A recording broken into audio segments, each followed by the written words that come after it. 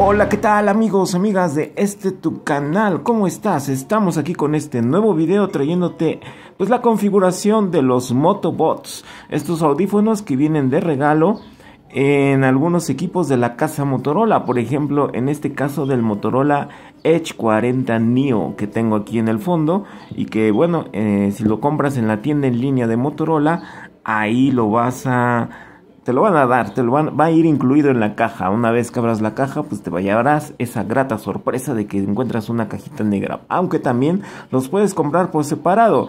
Te dejo en pantalla pues la screenshot de los lugares donde los puedes adquirir y los precios del mismo. No son muy muy caros, así que digas, ups, tampoco. Pero bueno, vamos a configurarlos vamos a encontrar, eh, una vez que los abres, vas a encontrar estos plastiquitos este, que están eh, haciendo contacto con, la cajita y simplemente se lo, los retiramos. Para que comiencen a cargar. Vamos a ponerlos por acá. Bien, vamos a encontrar eh, estos audífonos marcados o etiquetados de hecho son magnéticos. Aquí vas a encontrar para el oído izquierdo y para el oído del lado derecho, ¿vale?